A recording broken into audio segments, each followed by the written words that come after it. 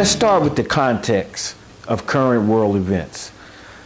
We live in a world of perpetual warfare and crime and corruption. A war ends in one location and it begins in another location. The, the theater of war rotates, but it never goes away. Protest after protest, we never stop the wars, they continue to go perpetually. It seems that we need a different approach in dealing with the problem of perpetual warfare. How does the Venus Project approach this? If you really wish to bring an end to war, poverty, hunger, and most crimes, what we have to do eventually through education is declare all of the earth's resources as the common heritage of all the world's people. That would be number one. If that is attained, then we can do away with all the artificial boundaries that separate people. Before the states had joined together into one nation, there were territorial disputes at all the borders. There were militias. But once the states had joined together, the militias disappeared. There was no need for it. Uh, the same process can be applied to all the sovereign nations of the world. To be invited in to a participatory democracy whereby all the resources are shared by all the world's people. I see that as the only means. Transitionally, if you substitute any other system, it will have built-in antagonisms. So this is what we have to strive toward. I don't say this can be accomplished in one swoop. It's a slow process of education. We hope to make a motion picture depicting these changes and showing people what the advantages would be to each individual throughout the world of a resource-based economy. Why do you propose such a radical change? Well, I would like to see an end to war, poverty, unnecessary human suffering. And I can't see it within a monetary-based system where the richest nations control most of the world's resources. I cannot see that happening. I see constant repeat of the same series of events, war, poverty, recession, again, boom, bust, and war again. I see no end to that cycle of events unless we declare the earth as common heritage. I hear discussions of a new paradigm in economic systems. What, and you're proposing uh, such a change in a resource-based economy. What is a resource-based economy? And how does that compare with a monetary-based economy? In a monetary-based economy, we use money as a medium of exchange. Now, money doesn't represent our capacity to produce. It just represents a method designed hundreds of years ago and established within the system. In the monetary-based system, it's wealth, property, and power. And that's the main directive. Now, today we say, how much will it cost? That is really, really the question. The real question is, do we have the resources to build that kind of project? Yes, we do. Do we have the money? No, we don't. We don't have enough money to wipe out the slums and build housing all over America and schools. Even if you taxed everybody, doubled it, we don't have enough money. But we have more than enough resources available to build anything we want to build.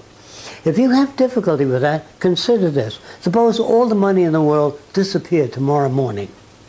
As long as there are farms, water, building material, we can build anything we want to build. It isn't money that people need. It's access to resources. In other words, it was necessary a hundred years ago to use a monetary system for the distribution of products. Today, we have the technology to make those things available. What are we chiseling off each other for? Exactly what is a resource-based economy? A resource-based economic system does not use money, barter, trade, or any of the older systems that were prevalent. It's based on designing a culture that fits in with the carrying capacity of the world's resources. Anything else other than that will not work. It's like sending people to the moon without water and without food, operating on the assumption that the moon will provide. It has to be based, all science and technology must be based upon resources. And without resources, whatever planning you do, if you don't have the resources, is invalidated. So the resource must coincide with the industrial potential. How does the resource oriented economic system, which the Venus Project uh, promotes, how does that offer a different approach to our society? It would change the basic outlook of people. There would be no such thing as unemployment, no such thing as war, no police, no prisons, no banks, no money, but people would have access to new housing, education, health care, and all of the things we don't have access today without putting out a great deal of money. So when you say no money, no banks, you mean that there will be no debt, no credit, no barter, No, right. no form of monetary exchange. By any individual or group. And no inventions would be owned by corporations. They'd be in the public domain. So you can't make money on new cancer treatment. You can't make money on, on anything that should be in the public domain. And we think everything should be in the public domain. So I see how that relates to um, the effectiveness in reducing the emissions that are destroying the, the ozone layer. There's no profit motive, so there's no reason to continue that behavior. I can see how it reduce it would reduce the destruction of our rainforest because there's no profit motive. There's no reason to destroy the, the, the rainforest. We would we have no restraints from finding alternatives that, don't that don't damage the ecosystem. Uh, recycling, huge problem with, with um, uh, waste, uh, non-recyclable waste. Without the profit motive, we have no reason not to develop eco-friendly products. Yes, this is so. The decadence, the, the moral decay of the pool of people that we choose our, our political leaders from. We don't choose them. Mostly the establishment does the choosing. So we, we would eliminate, we would step away from the constraints of capitalism in a resource-based economy. Yes. Nothing less will do. There's no compromise middle way until you have common heritage. You're going to have all the kind, same kind of problems, more or less. So modified or enlightened capitalism will reduce the problems only minimally. So in a resource-based economic system, you're saying that territorial strife would be diminished. Gone. There's no basis for it. And for, to protect your property, you have military and police. Since you don't own anything in the future, you live in your ideal house, you drive very well-designed cars, and when you get out of that car, it goes to service automatically, it's maintained. You don't want to own anything. What you really want is access to things when you want it without waiting in line. And that's what I'm talking about. I'm talking about making things available to people. You don't want to own your golf clubs. You want them there when you want them. When you go to the golf course, you want to be able to select whatever clubs you like, whatever you like to work with. That's what you really want. When you go down to the yacht basin, you want to get in a cabin cruiser, go out with your family. You don't want to fill out any forms and somebody tell you, hey, there's 50 people before you. We'll turn out more than enough so that you can always go down and there's always a car out there for your use. Is monetary economics at the root of the problem, and can it be fixed? If it can't be fixed, why not? Frankly, within this system, in order to survive, you have to submit to the methods of this system. A lawyer is not out there to help you always. There's money in it for the law firm. In other words, the motivation is not what you would call based on human concern. It's based on the bottom line. The motivation in most industries, the bottom line is profit, not the betterment of humanity. And I, they would feel, well, that is a byproduct of this system. I don't believe that. It's that the rules of the game were invented so many years ago, they no longer fit the economic circumstances of the times. What we would like to do is update our system so that it fits the new technologies. Invite them in, shorten the workday, increase the availability of goods and services to all people throughout the world without any nations taking advantage of any other nation's resource. What does the Venus Project represent? One world working in one direction, the intelligent management of resources and upgrading the standard of living for all the world's people, with profits to none and service to everyone. And what about scarcity? Can that be eliminated? Do we have enough resources to satisfy the growing population in the world? Yes. Today we have more than enough. And it's incontestably proven that we have more than enough. It's just that the way we manage our resources are wasteful. We change, change the design of automobiles every year so that people will buy new cars. We raise the hemline on clothing. We change the spring fashion, the fall fashion, the winter fashion, so you will buy things and constantly be involved in purchasing things. In the future, we will design cars to last 10 years or more, so you don't have to service them. So we will engineer, innovate, and make newer things designed not to wear out and break down. What about human nature? I think that environment shapes values and behavior. Genetics, to a certain extent, set the propensity, but they do not give us a value system. Genetics is not responsible for greed, bigotry, racism, prejudice. All that is learned. So if you don't alter the condition that generates that, I don't see a solution. What the Venus Project advocates is the redesign of our culture so that those conditions no longer exist. Who makes the decisions? Instead of formulating a decision as we do today, we will arrive at them. That is, a method similar to that used in engineering, where you put something to test in order to find out or evaluate a particular situation. Decision making then in the future will be based upon actual studies on human need, protecting the environment, and manufacturing goods and services with clean technology. Who decides who gets what? You do. You go to the Access Center, look around, and if there are things that you would like to have, you put in a request for them. That's simple. You're talking about, if, if I read you correctly, you're talking about no money, no Yeah. credit, no borrowing, no debt, Yeah. no bartering. Yeah. Where's the incentive? No war, no territorial disputes, crime reduction by about 90%, the end of fear of, of uh, economic deprivation or losing your home or illnesses which you cannot afford economically to take care of. All that comes to an end. If that isn't a good enough incentive, I don't know what is. A lot of people are brought up to believe that money is the driving force that generates incentive. It also generates incentive for corruption, embezzlement, taking care of your brother-in-law, unfair practices, racial discrimination. So I'm saying that yes, money does produce incentive, but it also produces all the other factors which are generally left out. I would say the people we remember in history are not the people that made a buck or made lots of money.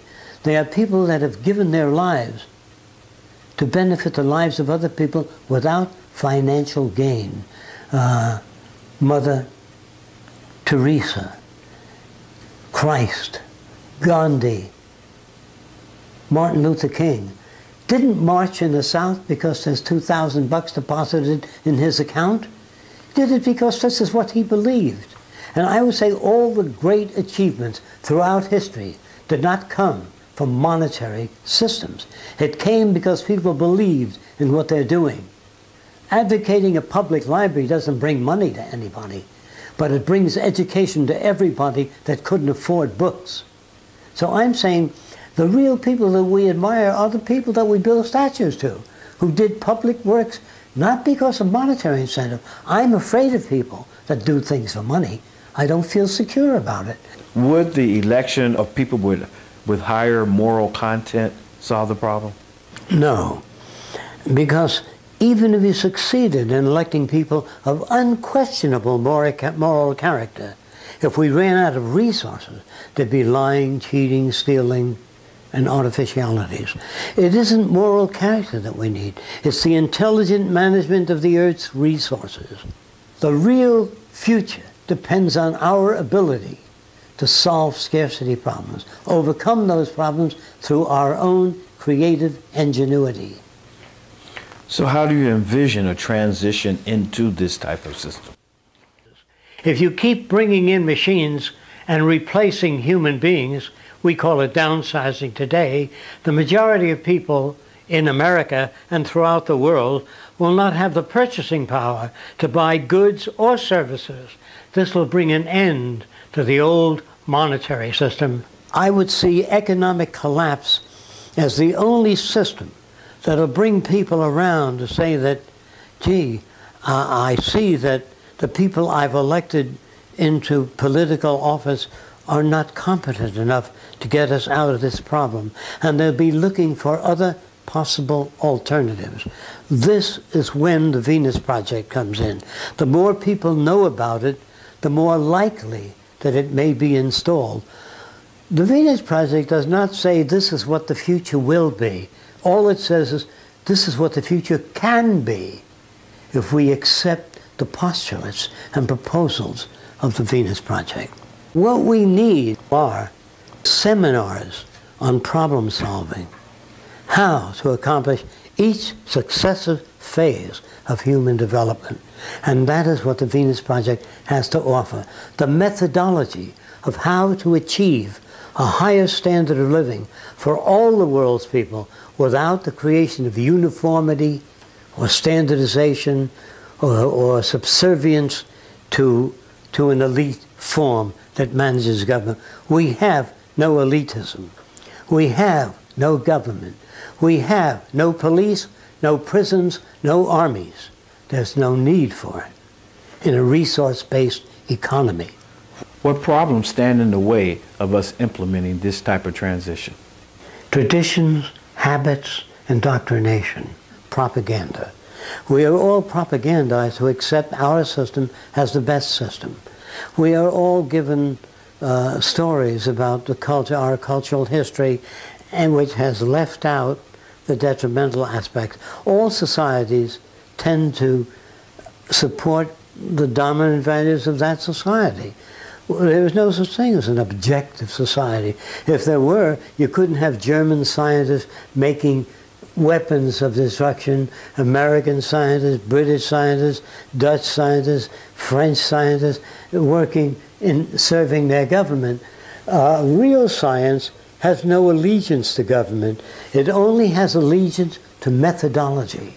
We're using our finest minds on weapons of destruction and methods of maintaining control and dominance. So this is not a loyalty to the fresco system or loyalty to the Venus Project. I'd be against that. You have loyalty to the earth and all the people that live on it. How do we overcome the fear of losing our jobs to machines? In a money system, it means you can't pay your rent, you can't eat.